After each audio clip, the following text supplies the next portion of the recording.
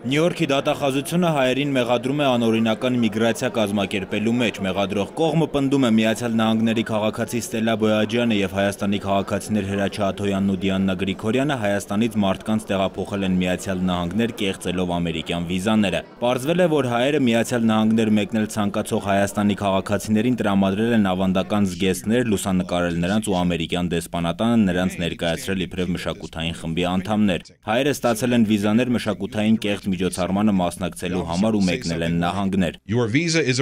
Նյու Յորքի դատախազությունը ողջել է, որ Ստելլա Բոյաջյանը մշակութային կեղծ միջոցառումներն իրական ցույց տալու նպատակով օգտագործել է իր հիմնած հասարակական կազմակերպությունները։ Անօրինական ճանապարհով Միացյալ Նահանգներ մեկնող հայերը հանցավոր խմբին վճարել են 3-ից 15000 դոլար։ Գումարը ներառել է նաև վիզա ստանալու հարցազրույցին պատրաստվելու խորհրդատվության վճար։ Անօրինական ճանապարհով Միացյալ Նահանգներ մուտք գործած Հայաստանի Հանրապետության քաղաքացիների մի մասը